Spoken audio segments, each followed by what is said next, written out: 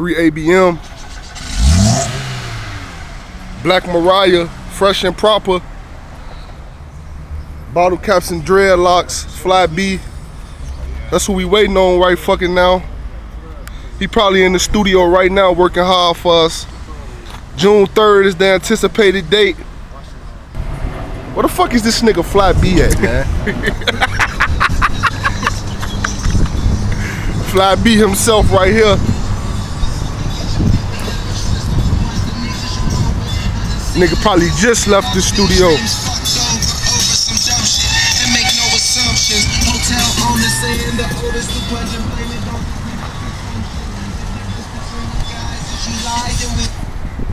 Phlyy B himself. Oh, what's up, man? We out here waiting on your ass, man. I thought I just, I'm busy, really. I just got back. We just booked our first show, so that's where I'm coming from right now. Man, we still, uh, can you let us know about that bottle caps and dreadlocks? Oh, um, June 3rd. That's the day, man. That's the day the earth is gonna stand still.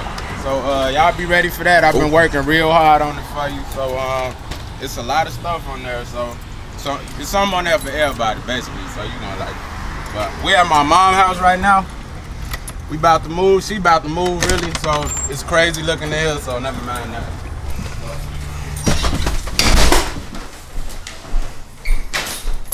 Let us know what to really expect from this, though. We hear this shit gonna be hot fire. It's something like it's real different. Like it's a little bit of everything. Like the first tape was really like it felt more rough, but this one it's like you're gonna get to see me more.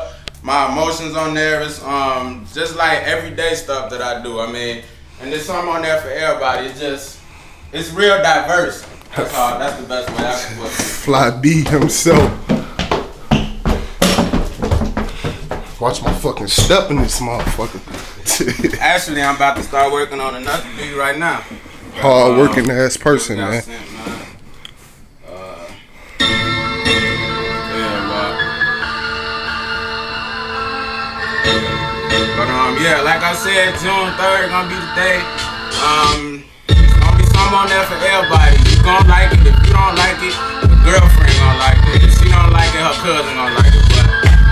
I appreciate all y'all support, all the attention y'all give me, and um, I'm gonna make it work for your while. So June 3rd, um, uh, can I concentrate so I can get it done on time? Damn. So,